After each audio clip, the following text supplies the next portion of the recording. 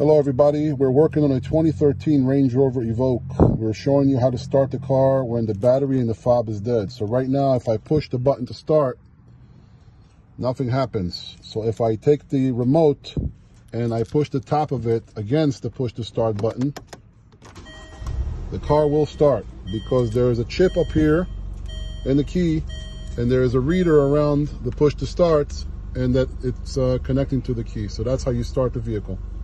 Thanks for watching on a Range Rover, how to start the vehicle with no battery. Thank you.